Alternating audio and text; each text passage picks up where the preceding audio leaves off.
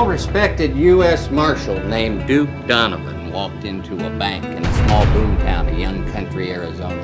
When the smoke cleared, six people were dead. Put Your gun's down! I'm blowing the red right off!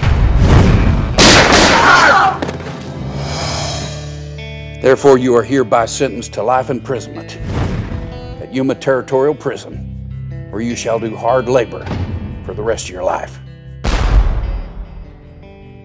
That thing in Young Country, did it really go down the way they say it did? My wife's in danger. Hardin's not gonna stop till he gets to me any way he knows how. Now you gotta do something! You know, in all my years of working with the law, You don't belong here. there's one thing I learned. What's that? Nothing ever went down the way they say it did. Bring him back. Dead. the ground.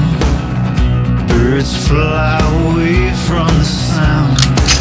A lone hero stands in the eye of the storm.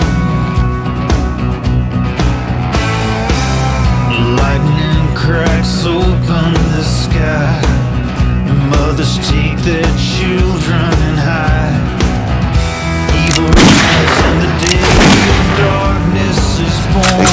small man was going to be easy pickings on account of he was outnumbered and all, but they was wrong.